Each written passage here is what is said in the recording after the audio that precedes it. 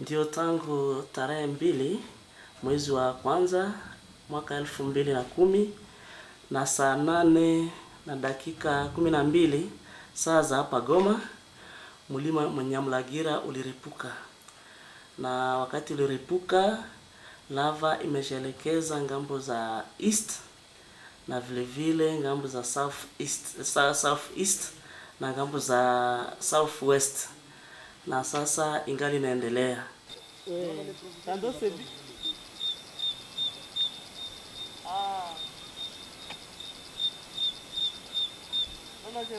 Ndio huyu mlima umekuwa ndani ya National Park, umeendelea umeendelea kuripuka na hatujue siku gani utasimama.